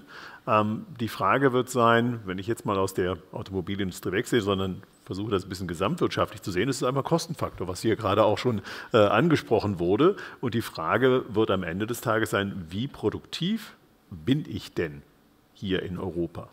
Und wenn ich das nicht hinbekomme, werde ich ähm, gegebenenfalls Preissteigerungen bekommen, wenn ich das nicht durch Produktivitätszuwächse äh, durchbekommen kann. Und das haben wir jetzt gesehen, wenn die Preissteigerungen zu groß werden, ähm, dann haben wir ein Inflationsproblem.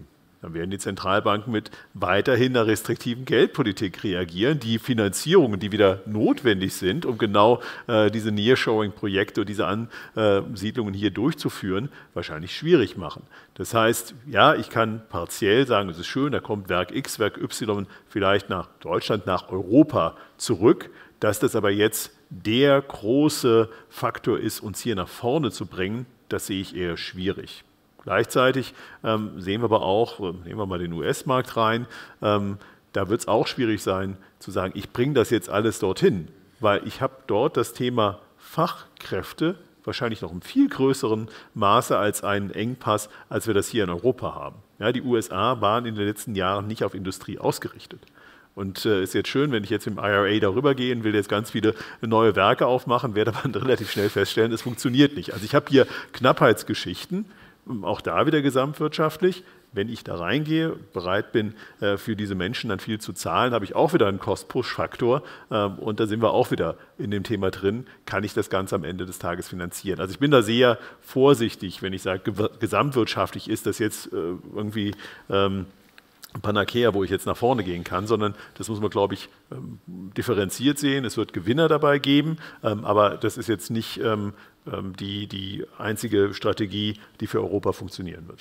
Wobei wir ja auch gerade schon äh, bereits gesehen haben, Kosten spielen eine große Rolle, insbesondere in unserer Automobilindustrie.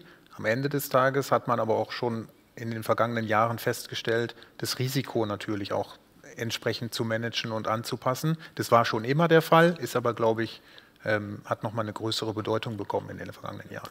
Und da glaube ich, da sehen wir, glaube ich, eine Veränderung des, was Sie auch gesagt haben, diese Sicherheit von Lieferketten. Ich weiß ja nicht, ob es überall angekommen. Sie haben gesagt, wir sind da erst am Anfang, aber dem werde ich irgendwann einen Preis zugestehen müssen. Und das, glaube ich, wird auch bei der Frage sein, in welches Land gehe ich. Da bekomme ich einen, einen Risikofaktor drauf, der politisch oder geopolitisch zu sehen ist. Bis jetzt haben wir diesen politischen Faktor, ist die Nachfrage groß oder klein in dem Land und das kann ich damit Absatzmengen angehen. Ähm, aber jetzt habe ich eine neue Komponente, die reinkommt und das, glaube ich, ist bei vielen Entscheidungen noch nicht drin. Da sind wir, glaube ich, am Anfang, äh, um zu sehen, wo gehen wir da hin. Und das hat ja auch diese Umfrage der EZB, glaube ich, ganz gut gezeigt. Wir sind an den Anfängen, äh, da was zu tun. Und das ist bei Weitem noch nicht äh, durch. Und die schöne Situation, die wir jetzt hatten, wir kamen aus der Pandemie mit großen Überersparnissen, ja, wo ich auch die Möglichkeit hatte, das alles weiterzugeben. Das ist weg oder im Großteil weg. Das heißt, nach vorne wird das deutlich schwieriger werden. Vielleicht nochmal, Herr Sommer, ähm, was man so liest, ähm, ist, dass Thailand, Vietnam äh, teilweise wirkliche ähm, Alternativen sind in Asien. Ähm, würden Sie dem zustimmen? Ja, also auf alle Fälle ist es richtig, dass natürlich Firmen überlegen, die in auch China verkaufen oder generell in Asien verkaufen, sagen, warum muss jetzt wie in der Vergangenheit sehr, sehr viel in China stehen? Das hat sich einfach angeboten, weil das Wachstum dort, auch die Profitabilität nicht zu vergessen, also nicht nur Wachstum, nicht nur Umsatz quasi, sondern auch wirklich die Ergebnisse ja aus China, man kann es ja bei den Konzernen nachlesen, äh, entsprechend hervorragend waren. Also logischerweise würde ich als Vorstand, als Aufsichtsrat sagen, gut, also dann bitte weiter erstmal in, in dieses Land investieren, weil offensichtlich auch der Markt stimmt. Aber Sie haben völlig recht, die Länder profitieren. Sie haben ja auch lange genug, würde ich mal sagen, unter China gelitten, weil eben das gesamte Investitionsniveau von Deutschland im Grunde so saugnapfmäßig auf, auf China, jedenfalls großteils, dann reduziert wurde. Und ich glaube, das ist gut, weil wie immer, auch wenn ich in China jetzt äh, grundsätzlich lebe, finde ich es immer gut, wenn es eine gewisse Konkurrenzlage gibt und wenn sich jeder anstrengen muss, letztlich auch die Investitionsbedingungen zu verbessern. Und ich glaube, da kann und muss China äh, nachlegen. Derzeit sind die Investitionsbedingungen nicht so gut aufgrund der neuen Gesetze, die gemacht sind, sind zu unsicher. Und das merkt China auch und deshalb ganz klar, ja, Länder, Sie haben zwei genannt, es gibt sicherlich noch mehrere, profitieren von dieser Situation. Gar keine Frage. Wie spielt aus Ihrer Sicht der Konflikt oder der drohende, auch auszubrechende Konflikt China-Taiwan dort mit rein? Das wird sicherlich in den äh, Medien hier äh, sehr groß geschrieben und natürlich wird ein Vergleich gezogen, der mit Russland, Ukraine und dann wird gesagt, Russland und China circa dasselbe System und dann haben die da Ukraine angegriffen und dann wird irgendwann auch dann äh, Taiwan angegriffen werden. Nun ist es schwierig, wenn ich Ihnen jetzt in der Kürze der Zeit äh, sage, daran glaube ich wirklich nicht. Und zwar in einer zumindest erstmal übersehbaren Zeit, würde man sagen, fünf bis zehn Jahre. Ähm, Natürlich bin ich nicht in der Lage zu sagen, ist China in der Lage, Taiwan anzugreifen oder nicht. Ich meine, das ist äh, logisch. Aber äh, die, es gibt genug Sachgründe äh, und auch sogar fast, sagen wir mal, irrationale Gründe, die ja bei solchen Entscheidungen, welcher Krieg ist schon rational, äh, dann auch eine Rolle spielen, warum das äh, China jetzt nicht machen wird. Mir ist nur ein Einsatz sehr wichtig. Wir dürfen wirklich überhaupt nicht Russland, Ukraine und China, Taiwan in irgendeiner Form ver vergleichen. Gar nicht. Dieser, die, die, weil, weil das sind zwei völlig unterschiedliche Länder, also vier muss man, oder drei, je nachdem, äh, Länder und, und Gebiete, die gemeint sind. Und die Diskussion ist ja aufgekommen, weil eben Russland Ukraine angegriffen hat. Und jetzt meint man, du musst es auch vielleicht irgendwann China tun. Klar, der Präsident auch gesagt, irgendwann will er diese Wiedervereinigung. Das ist aber nicht neu. Das gab es seit 10, 20 Jahren. Wenn Taiwan sich für unabhängig erklärt, ist nächsten Tag der Konflikt heiß. Das war unter allen Vorpräsidenten so. Also daher hat sich vielleicht dort in, der, in dieser Situation weniger verändert, als hier wahrgenommen wird. China ist noch erst dabei, das alles aufzubauen, was militärisch notwendig ist. Und noch, letzter Satz, gucken Sie sich die asiatischen Länder an. Die sind ja nicht alles China-Freunde. Wie wollen Sie also etwas machen, wo sie dann diese Gräben, die jetzt ja da wirtschaftlich bestehen, politisch bestehen, noch weiter aufbrechen. Das ist eine sehr, sehr problematische Situation. Taiwan wird in der Bedeutung abnehmen, weil jetzt überall Chipfabriken entstehen. Und insofern wird dort auch eine gewisse Ruhe über die Jahre einkehren. Ist ja auch quasi ein gewisses Schutzschild gewesen die ähm, Chipindustrie in Taiwan so aufzubauen, wie sie heute aufgebaut so ist. So ist es und wir haben jetzt, ich müsste jetzt lügen, 70 Prozent des weltweiten Warenverkehrs über den Daumen, 70, 75, marschiert durch die Straße. Ja. Das wird ja eher mehr als weniger werden, aufgrund der Bevölkerung, aufgrund des wirtschaftlichen Wachstums. Also auch wenn Taiwan von der Seite an Bedeutung abnimmt, wird die logistische Seite bedeutsam sein. Und zwar für alle asiatischen und für alle westlichen Länder. Das heißt also, da wird es immer internationale Abkommen geben und dies zu blockieren, würde auch China unwahrscheinlich viele Gegner auf den Plan rufen. Hm. Blicken wir vielleicht noch mal kurz in den Rückspiegel, Herr Bauer. Ähm, auf Herstellerseite hat die Corona-Pandemie am Ende des Tages dazu geführt, dass die OEMs wahnsinnig starke Margen mhm. durchsetzen konnten, dass man sich auf margenstarke, auf die Produktion und den Absatz margenstarker Fahrzeuge fokussiert hat. Ähm, auf der Zulieferseite sah das ganz anders aus. Ja, da wurden teilweise oder größtenteils die Kosten getragen dieser, dieser Corona-Pandemie. Ähm, glauben Sie, die, die Hersteller haben gelernt aus, dem, aus den Erfahrungen der Pandemie? Wenn ich die letzten Wochen äh, Revue passieren lasse, schwierige Gespräche, Vertrieb, OEM, würde ich sagen, wenig gelernt. ähm, also Herr Oeffing, Sie haben es gesagt, ich glaube, die Finanzierung dieser Krisenzeit ist über die Zulieferer gelaufen. Wir haben uns deutlich höhere Lagerbestände zugelegt. Wir haben äh, mit unseren äh, Produktionswerken äh, bis zum Exzess eine Flexibilität ähm, uns erarbeitet, was ja auch nur mit den Menschen geht, die dort arbeiten. Ja? Das heißt also, flexible Arbeitszeit konnten dann teilweise auch wiederum Sonderschichten. Also wenn mal ein Band läuft und äh, das äh, profitabelste Produkt eines bayerischen OEMs äh, nicht so vom Band läuft, wie er sich das vorstellt, dann kriegen sie natürlich richtig Druck. Dann fahren sie also 21 Schichten durch. Also ich bin schon der Meinung, dass wir da in den strategischen Dialogen, die habe ich ja angesprochen, die finden auch wirklich statt, dass wir da einfach noch äh, mehr den, den Finger in unsere Wunde legen müssen, dass wir sagen, also so können wir die, die Sache nur schwer ähm, überstehen. Ähm, ich wollte noch zwei Ergänzungen machen, Herr Dr. Michel, Sie haben was Wichtiges gesagt. Ähm, USA, das gelobte Land oder IRA, äh, man kann da natürlich investieren, das kostet richtig Geld. Wir haben Fachkräftemangel und auch ein bayerischer OEM hätte dort gerne ein Sourcing, weil es für ihn berechenbarer ist. Aber wie ich vorher schon erwähnt habe, es läuft halt immer noch äh, komplett über den Preis, das Thema. Und da haben sie dann mit Fachkräftemangel, Fluktuation 30, 40 Prozent, immer wieder anlernen, nenne ich es.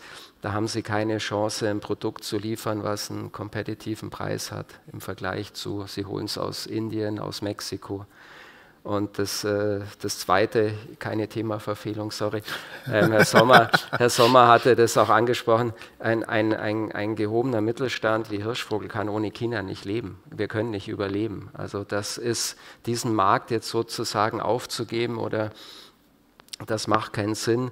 Äh, wir versuchen momentan möglichst autark unsere chinesische Gesellschaft aufzustellen. Also wir sourcen jetzt auch das Rohmaterial dann aus China wollte ich noch ergänzend erwähnen. Ich glaube, das ist so der Weg, den, den der, das deutsche Unternehmen gehen sollte. Mhm. Also absolut präsent bleiben in China und äh, ich nenne es mal ein etwas ähm, verschärftes Decoupling vielleicht fahren. Genau. Also zurück zum OEM. Wir sehen wirklich eine Aufweichung der, der, äh, der Gesprächsbarrieren, freuen uns da auch immer wieder drauf. Aber am Ende des Tages sind wir noch nicht, äh, noch nicht glücklich. Dann hoffen wir, dass die, äh, dass die Stimmung anhält, die gute, ja, ja. zwischen Ihnen und den OEMs. Herr Steiner, vielleicht ganz kurze Anschlussfrage, ähm, spontan, äh, wie wir sind. Ähm, die Kosten, hat Herr Bauer auch gesagt, sind im größten Teil durch die Zulieferindustrie getragen worden.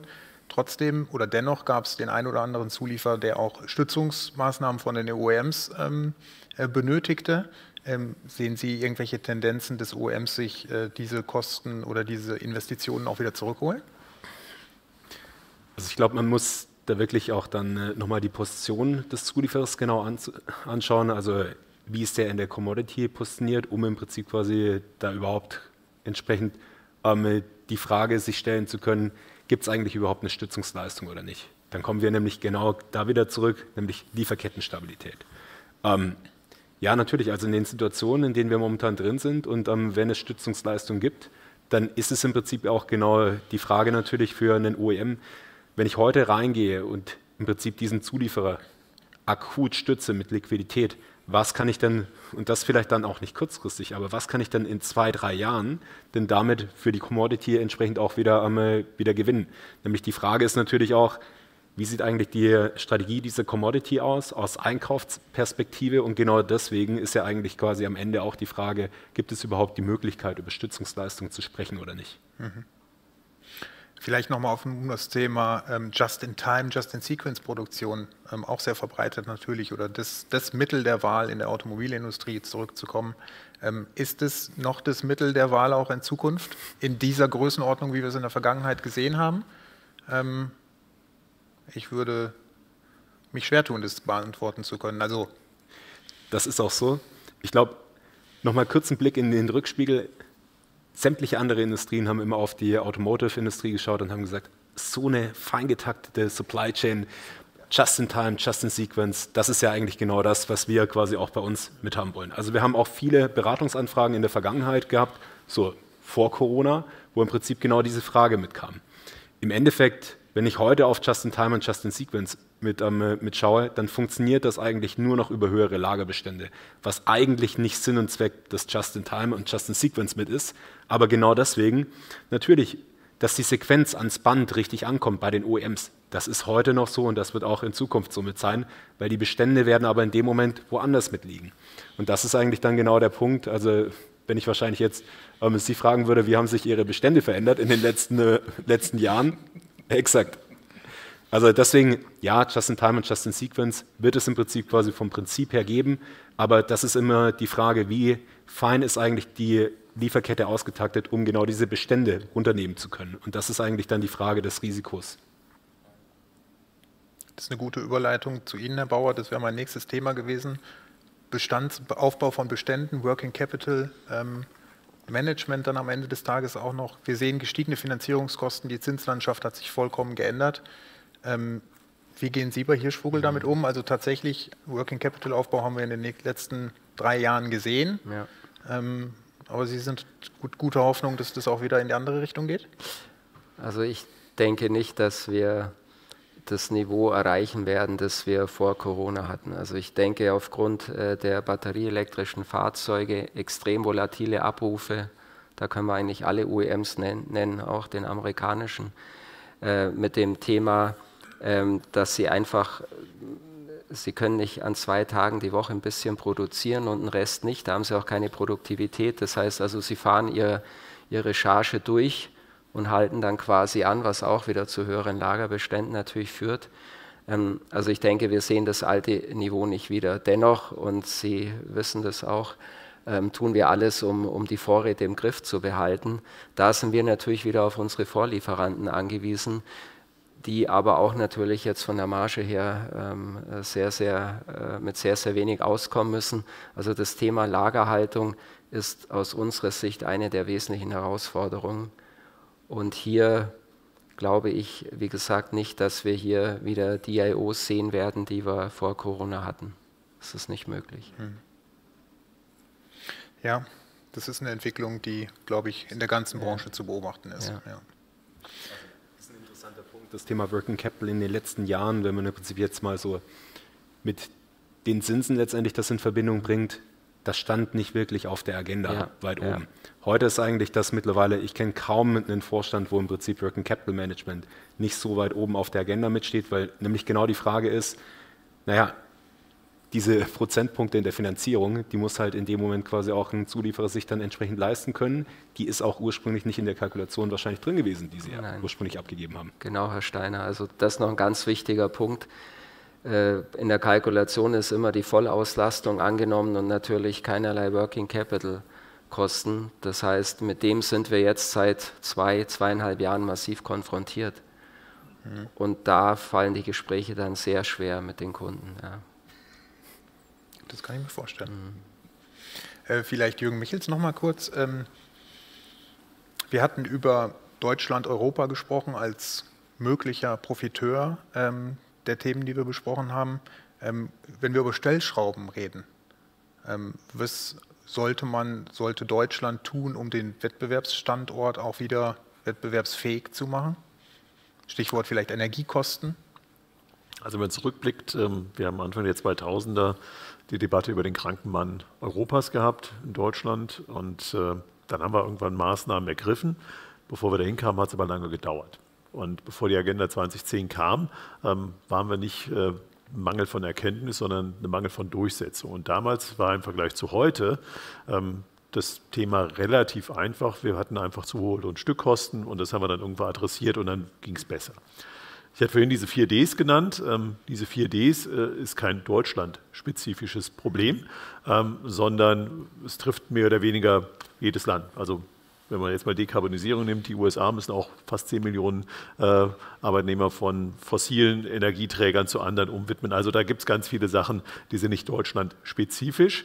Wir haben uns aber, äh, nachdem wir diese Reform gemacht haben, nachdem es wirtschaftlich super gut gelaufen ist, ähm, uns ein bisschen ja, nach hinten gelehnt, haben sehr viel konsumiert und so weiter und sind dann auch wieder nach hinten durchgereicht worden. Jetzt haben uns ein paar Schocks äh, mehr getroffen als andere die werden sich ein Stück weit wieder äh, reduzieren. Aber ich glaube, was wichtig ist für alle Unternehmen, das Thema Bürokratie, da muss man, glaube ich, auf der Breite äh, rangehen. Äh, da tun wir uns sehr schwer mit. Ich glaube, das, das größte Thema darüber hinaus ist eine Art von Planungssicherheit. Nehmen wir mal diese ganze CO2-Bepreisung, alles, was damit äh, dabei ist. Wenn es jetzt irgendwo äh, das erste Mal ein bisschen kritisch wird, zu sagen, ich nehme es wieder raus für ein Jahr, dann nehme ich jede Incentivierung zu sagen, ich will in energieintensive oder energieeffiziente, nicht intensive äh, Maschinen zum Beispiel äh, investieren, das fällt weg. Also da glaube ich, brauchen wir einfach einen, einen klaren, äh, klaren Weg nach vorne, dass wir uns auf ein paar einfache Komponenten verständigen, die jeder verstehen kann, wo jeder das auch in die Planung mit reinnehmen kann. Aber wir sind so im Klein-Klein unterwegs und vielleicht eine der größten äh, Geschichten, die helfen könnten darüber hinaus, ähm, ist das Thema, dass wir uns irgendwann bewusst werden müssen, dass wenn wir alles elektrifizieren wollen, der Strompreis eine viel größere Rolle spielt. Und dieses äh, Strompreisdesign, das wir derzeit haben, ähm, mit einem steigenden CO2-Preis einfach nicht funktionieren kann. Mhm. Äh, und da wird uns ein Brückenstrom, Industriestrom und so, das wird uns alles nicht helfen. Ähm, ich glaube, da müssen wir gucken, dass wir auf europäischer Ebene äh, Sachen beginnen zu verändern. Also da, glaube ich, müssen wir ganz, ganz klar rangehen, um hier an der Stelle für die Unternehmen wieder eine sichere Planungsgrundlage zu geben. Zudem habe ich gerade gestern gehört, das Produktivitätsniveau ähm, ist in, auf, in, in Deutschland relativ niedrig oder relativ stark gesunken. Und wir haben alle den Anspruch, nicht alle, aber wir wahrscheinlich nicht in dieser Runde, aber viele haben den Anspruch ähm, auf eine ordentliche Work-Life-Balance. Ähm, Arbeitsstunden sind ähm, absolut gesunken oder auf dem Tiefstand. Äh, das wird sicherlich auch eine Rolle spielen, natürlich. Das war ja ein Wettbewerbsfaktor das, auch. Das kommt nochmal mit rein, wobei man, wenn man die Lohnstückkosten momentan anschaut, da sind wir gar nicht so schlecht. Ähm, aber wir müssen da ganz klar äh, sehen, Geschichten wie Vier-Tage-Wochen und so. Ich glaube, das wird alles, äh, ist noch Wunschkonzert und ich glaube, da müssen wir uns neuen Realitäten einfach hingeben, dass wir dort flexibel sind. zum anderen aber auch sicherlich mit den vorhandenen ähm, Kapazitäten, die wir haben, dass wir die auch ausschöpfen müssen. Mhm. Darf ich kurz einhaken, weil das Wort Wunschkonzert ist eigentlich ein, ein Thema, wo man ja äh, einfach sehr schnell, äh, leider muss man sagen, an Europa denkt. Wir haben eine Bürokratie, die den deutschen Mittelstand und auch die Großen, aber den deutschen Mittelstand genauso hart trifft. Die ist nicht mehr zu handeln und alle Produktivitäts- und Effizienzvorteile, die man versucht, mühsam auf der Produktionsebene zu erreichen, werden durch die überbordene Verwaltung wieder zunichte gemacht. Im Gegenteil sogar letztlich dann höher gefahren. Das ist eine Entwicklung, für die ähm, nicht Deutschland alleine steht, auch, aber überwiegend Europa. Und das meine ich mit Wunschkonzert. Leider müssen wir doch feststellen, wir würden immer ganz gerne wollen, wir brauchen Europa, weil wir tatsächlich auch als Deutschland zu klein sind. Fakt ist, wenn ich in die Runde fragen würde und wir würden das Publikum fragen, wie hoch ist die Wahrscheinlichkeit, dass wir zu wesentlichen Fragen in Europa eine einheitliche Meinung finden? Wie hoch ist die Wahrscheinlichkeit, dass tatsächlich Bürokratie abgebaut wird, um die Unternehmen zu entlasten? Dann würden die Antworten vermutlich relativ schwierig ausfallen.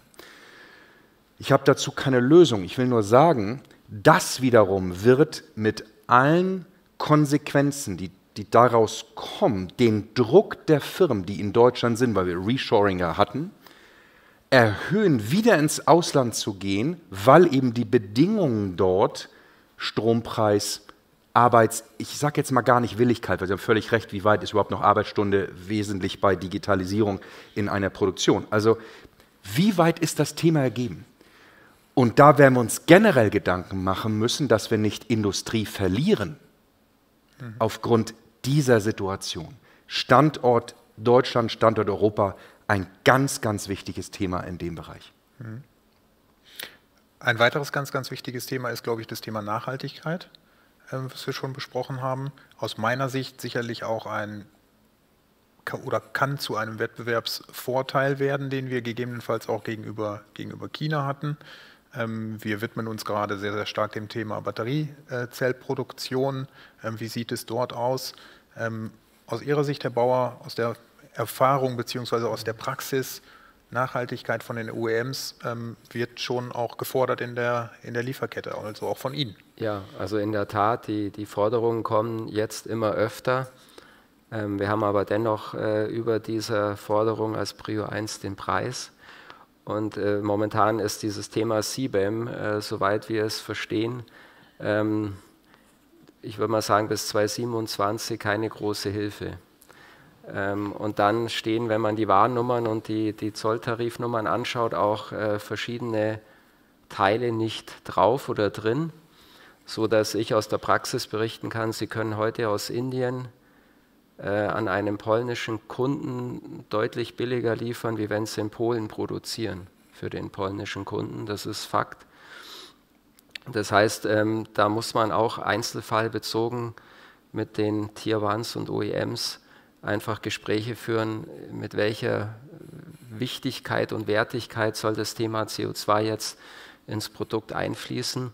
Wir tun sehr viel an deutschen Standorten, ähm, was dazu führt, dass wir, wir haben jetzt ja 7 Megawatt Peak äh, Photovoltaikfeld aufgestellt, das muss auch finanziert werden. Also wir tun sehr viel, um über PPAs und, und auch tatsächlich Direktversorgung äh, mit grüner Energie dem Kunden auf jeden Fall ein Angebot machen zu können. Ich glaube, das ist sehr wichtig, dass die äh, auch äh, wir als Zulieferer ein Angebot bereit haben mhm. Und momentan aber auch dem Kunden noch die Wahl lassen müssen, willst du es richtig günstig und, äh, oder, oder ist, die CO2 die CO2-Vermeidung jetzt äh, die höhere Priorität. Ja, also noch Flexibilität. Ja, das heißt, wir sind in einem ziemlichen Spagat und das Thema Nachhaltigkeit ist noch relativ gering ausgeprägt, wenn ich das richtig verstehe. Aber auf der anderen Seite wird es natürlich zunehmen und ja. dem ähm, Endkunden auch wichtiger werden. Ich glaube, ähm, die, da hat die Gesellschaft sich auch verändert. Das heißt, der Endkunde wird mehr Nachhaltigkeit fordern. Ähm, ja. Und letztlich ist die Frage, ähm, die kann ja auch oder in großen Teilen wird sie wahrscheinlich auf die Wertschöpfungskette dann abgewälzt werden, in Anführungsstrichen. Ja, das sehe ich auch so. Also ganz wichtig aus unserer Sicht ist die, die, die Jahre, die jetzt bis 2027 kommen und damit der Nacharbeit der Zolltarifnummer, nenne ich es mal, oder der Aufnahme der, der vielleicht noch relevanten Warnnummern, wird das Pendel dann höchstwahrscheinlich schon in Richtung Europa umschlagen, aber nicht so dramatisch ist unsere Einschätzung, dass wir jetzt äh, deutsche oder europäische Kunden nur aus Europa dann bedienen können, müssen, sollen. Also ich denke, das kommt auf die Commodities dann konkret an im Einzelfall. Ja nicht nur in Europa vorgehen, sondern wir haben ja eine globale Absolut, Geschichte. Ja. Jedes Land versucht, seine Ziele irgendwann zu erreichen. Ja. Und wenn man sieht, die ganzen Commitments, die abgegeben wurden und wo wir jetzt stehen, da muss sehr viel passieren Richtig. in den nächsten Jahren, um da irgendwie hinzukommen. Also da ist ähm, wirklich ein massiver äh, Investitionsbedarf da und das nicht ja. nur in Europa. Also ich bin dabei bei CBAM, das wird wahrscheinlich lange dauern und die Frage ist, wenn es denn mal da ist, wie fülle ich das dann nachher mit Tarifen, mit Leben? Was kommt so denn da wirklich rein? Ja. Das eine ja. die Installation, genauso die ganzen Vorkehrungen, die wir auf der Finanzseite haben, äh, wo in Europa der Finanzsektor als Transmissionsmechanismus mhm. eigentlich genutzt wird. In den USA gehen einen anderen Weg. Ähm, aber ist die Frage, wann, wann wird das Ganze wirklich wirksam? Wirksam. Und da werden, glaube ich, momentan die Grundvoraussetzungen geschaffen und die Frage wird dann sein, wann wird es dann irgendwann scharf gestellt. Ja, also finde ich sehr, sehr gut und ergänzend auch. Ähm, wir stellen uns grundsätzlich schon natürlich als, als Firma auf, um hier dieses CO2-Dekarbonisierungsthema äh, sehr ernst zu nehmen. Vielleicht auch nur mal ein paar Beispiele. Sie hatten es, glaube ich, vorher erwähnt, Herr Dr. Michels. Wir können jetzt nicht alle Öfen momentan elektrifizieren, ja, äh, die wir gerade in Deutschland haben. Äh, das gibt das Stromnetz nicht her. Das heißt, wir, wir ähm, elektrifizieren so weit wie möglich, versuchen das auch mit grüner Energie dann äh, entsprechend umzusetzen und hoffen natürlich auch, dass irgendwann grüne Energie mhm. einen kompetitiven Preis hat. Ne? Also wir, wir bemühen uns da wirklich sehr, hier auch mit vorne dran zu sein, auch wenn wir immer in Verdacht stehen, Stahl- und Aluproduktion, das sind die Übeltäter, aber das äh, versuchen wir auch mit unseren Stahlwerken, Stichwort grünen Stahl, ähm, natürlich äh, in den Griff zu bekommen. Hier wird es natürlich zu einer deutlichen Verteuerung kommen. Also Beispiel 1000 Euro pro Tonne Stahl, grün dürfte sich dann sicherlich um 200 bis 300 Euro pro Tonne ähm, verteuern. Dann sind wir natürlich auch beim Endkunden. Ne? Ob er bereit ist, das zu zahlen oder wie reagiert die Politik dann konkret auf die Entwicklung? Das heißt, Nachhaltigkeit hat, hat ihren Preis. Am Ende muss man sich fragen, wer übernimmt die Kosten. Ein Teil ja. wird bei Ihnen wahrscheinlich anlanden.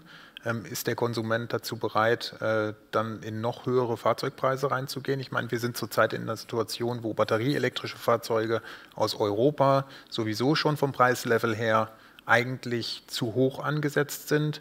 Wir haben also mehrere Herausforderungen, die so gleichzeitig unterwegs sind. Ja, also gar keine Frage. Äh, wurde gesagt, wir, wir haben ja die Firmen, wie Ihre auch, ist ja global aufgestellt. So, also jetzt ist die Frage, wenn ich, wo, wenn ich A ein Produkt für den Preis X habe und äh, das andere Produkt X plus wie viel Prozent auch immer, ist die Frage, wie manage ich das? Und wenn ich für dieses Produkt nachher keinen Absatz mehr habe, auch in den Märkten, die das eigentlich verlangen, dann wird kein Unternehmen in der Welt sagen, ich mache es aber trotzdem, weil die Politik sagt, da muss ich was machen.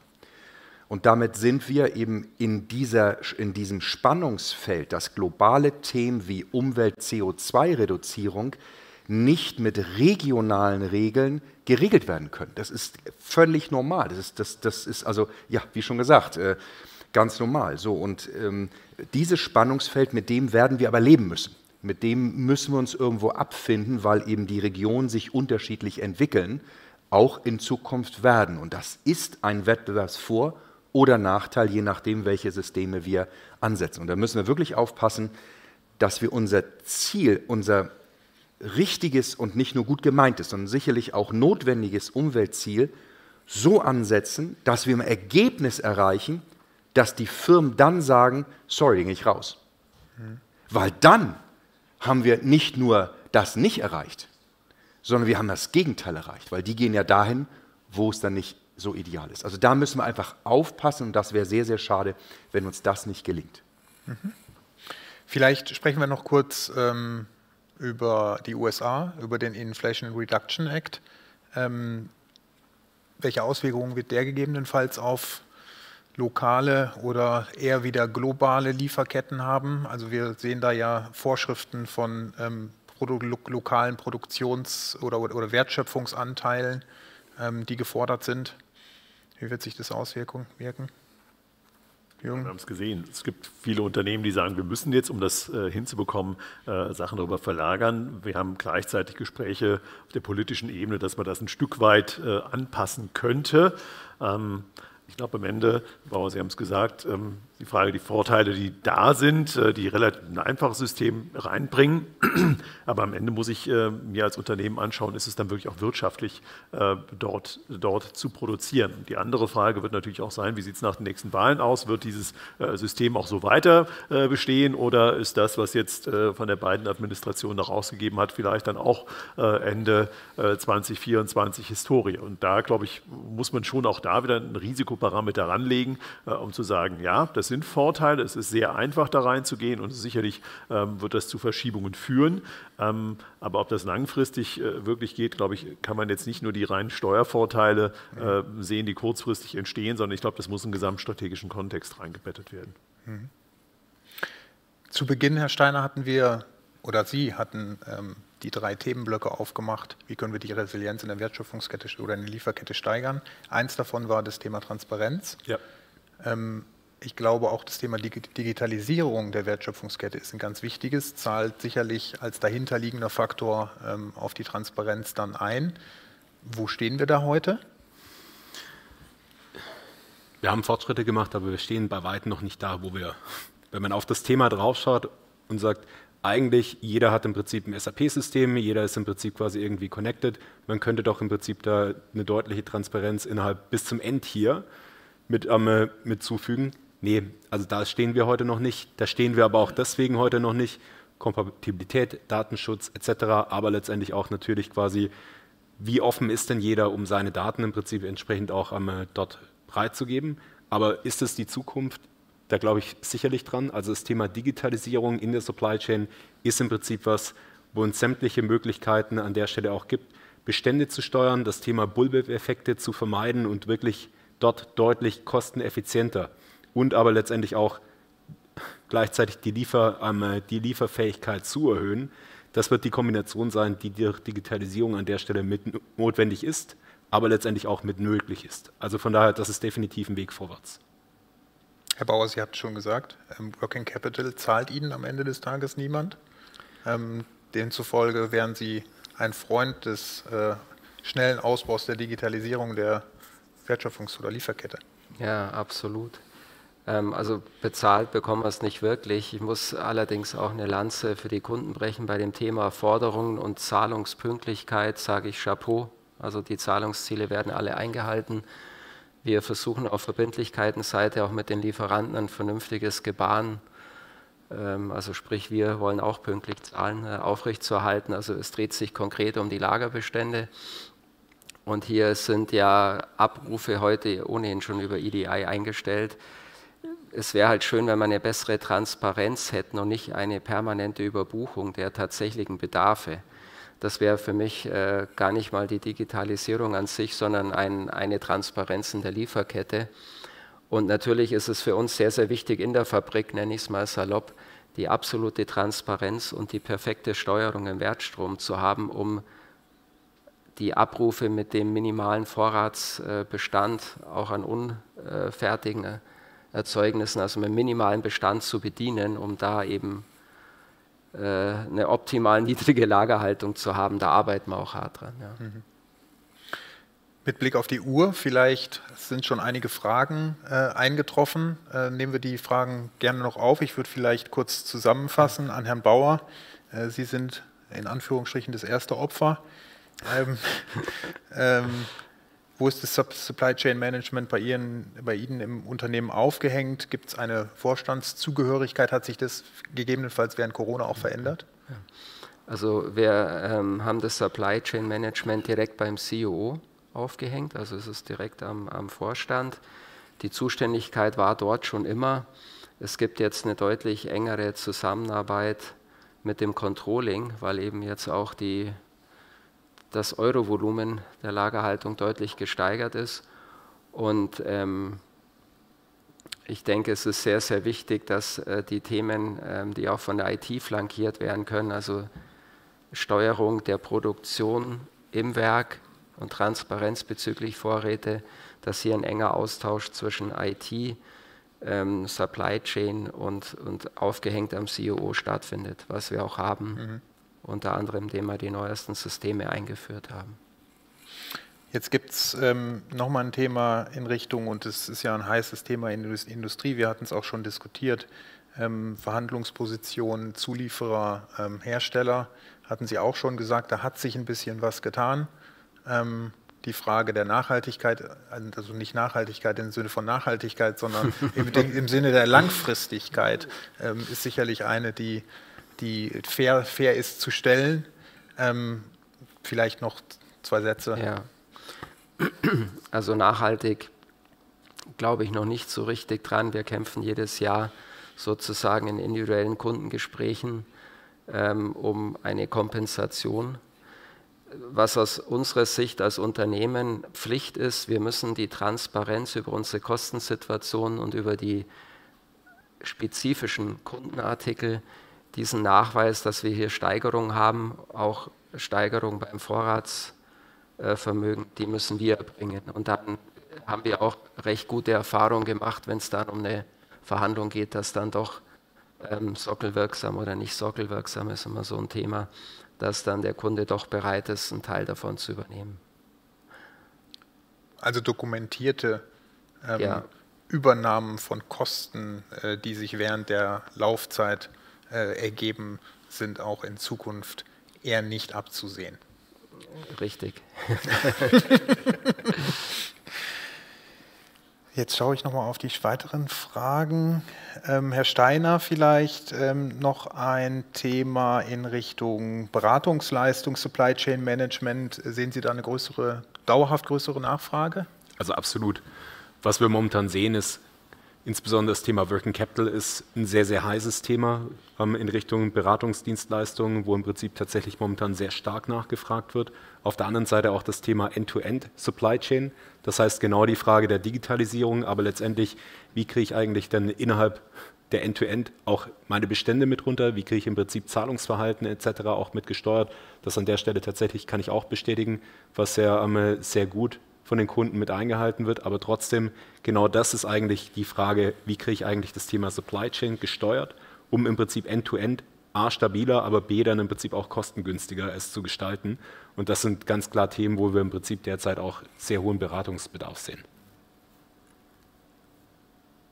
Jetzt versuche ich noch mal eine Frage an den Jürgen Michels rauszufinden, aber ich glaube, es gibt keine. Dann muss ich noch mal zum Herrn Steiner gehen. Letzte Frage vielleicht einfach. Ähm, ähm, durch die Themen Inflation, Zinsanstieg und allgemeine Kosteninflation, die wir, die wir sehen, ähm, auch mit Blick auf Single Source, Dual Source Diskussion, hat sich da nicht wirklich was getan?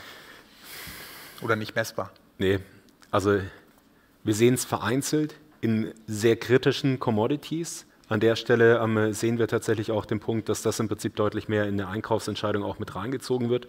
Aber wenn man im Prinzip in die Breite schaut, dann sieht man einfach immer noch genau den Punkt, wir sind in einer kompetitiven Industrie. Das Thema, also auch wenn OEMs im Prinzip quasi Entscheidungen treffen, dann treffen sie das heute immer noch sehr, sehr stark aufgrund von Kosten, aufgrund von dem Preis, den der Zulieferer abgibt. Und natürlich, wenn wir im Prinzip hier drüber sprechen, über Dual Sourcing, Dual Sourcing kostet Geld. Dual Sourcing, Sie hatten es vorher erwähnt, das Thema Fixkosten. Deswegen, ähm, ich sehe es vereinzelt, ich sehe es aber nicht in der Breite. Gut, dann schauen wir auf die Uhr. Es ist genau 12 Uhr. Ich würde sagen, es ist eine Punktlandung. Ähm, bedanke mich sehr für die anregende Diskussion. Ich glaube, das sind Themen, über die kann man äh, Tage sprechen. Ähm, wir müssen es leider dann irgendwann so ein Stück weit abkürzen. Aber der nächste Automotive Talk äh, der Bayern LB und des Sektors folgt dann natürlich äh, spätestens in 2024. Ich freue mich dann auch wieder über zahlreiche Teilnahme von Ihnen an den Geräten. Ähm, gegebenenfalls sieht man sich auf einem der nächsten Panels dann wieder. Äh, bedanke mich sehr für Ihr Zutun und Ihre Zeit, die Sie investiert haben. Fand ich sehr spannend. Dankeschön und bis zum nächsten Jahr.